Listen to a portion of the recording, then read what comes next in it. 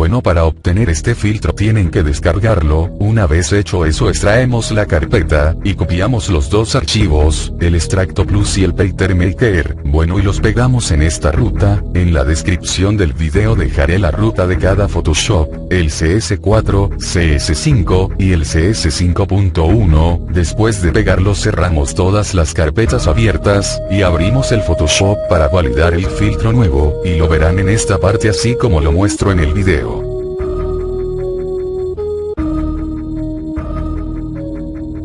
Para usar este filtro, requeriremos de una imagen a extraer, y usaremos un punto de pincel, el tamaño tienen que ser pequeño porque si no se verá mal al recortar, si no me creen inténtenlo, yo usaré un punto de 30, y empezaré a seleccionar el contorno de mi silueta a extraer.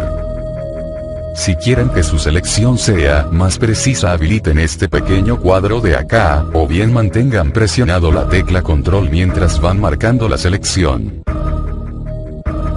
Una vez hecho esto, seleccionen herramienta bote de pintura, será para marcar lo que queremos conservar, bueno, en este caso deje una parte sin seleccionar, si se les rellena toda la imagen es que no cerraron bien su selección, haré zoom para que vean que por más pequeño que sea la abertura, de todas formas el filtro es inteligente y no pasará una, bueno revisen su selección y corrijan, si no encuentrar en error pues repitan todo.